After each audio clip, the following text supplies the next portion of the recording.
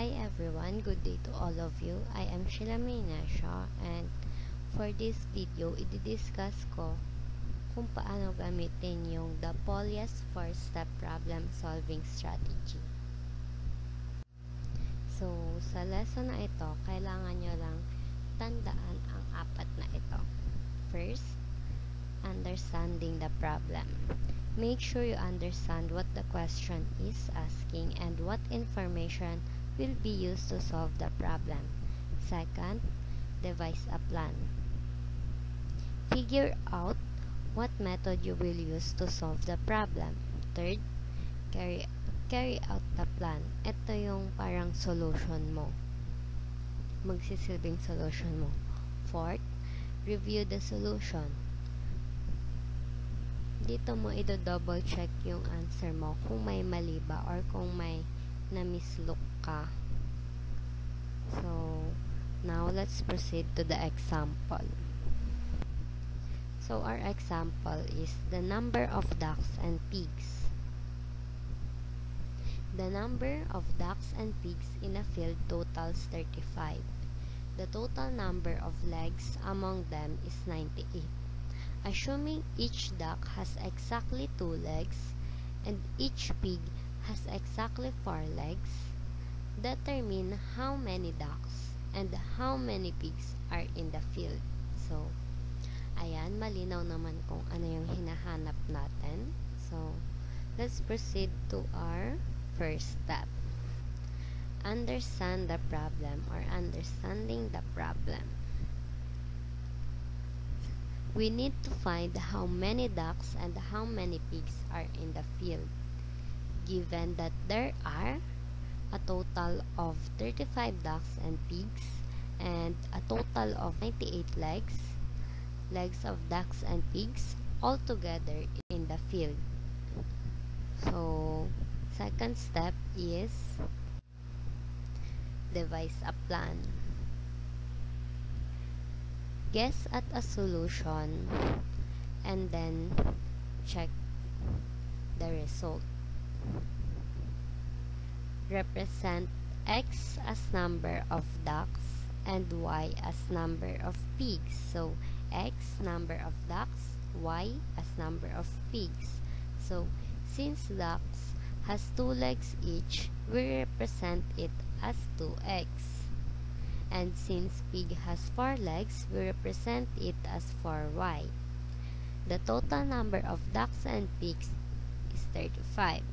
This can be expressed as x plus y is equals to 35 or equation 1. Ito yung equation 1 natin para mas madali yung makabisado at maintindihan. So, x plus y equals 35 is 1.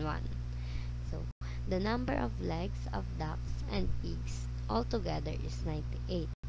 This can be expressed as 2x plus 4y is equals to 98 or equation 2. So, ayan, tandaan natin yung mga given. And then, let's try to solve it.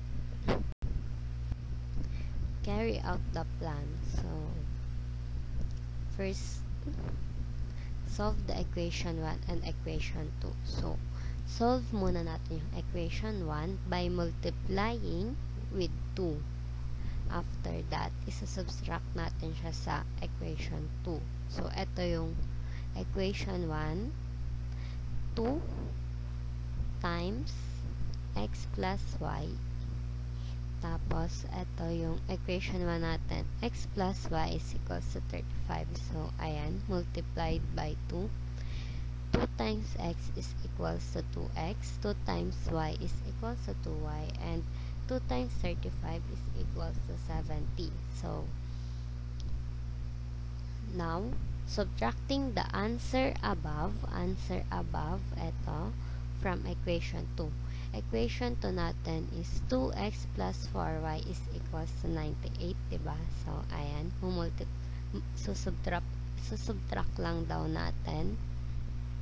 So, cancelled na tong 2x balang natira na lang 4y and 2y. So, 4y minus 2y is 2y pa rin. So, dito naman, twen- 98 minus 70 is 28. So, yan. 28 divided by 2 is equals to 14. At dy na lang yung natira. So, ano nga yung y natin? y is the number of pigs. So, ayan, nasagot na yung isa sa mga hinahanap natin. Next, substitute the value of y in equation 1.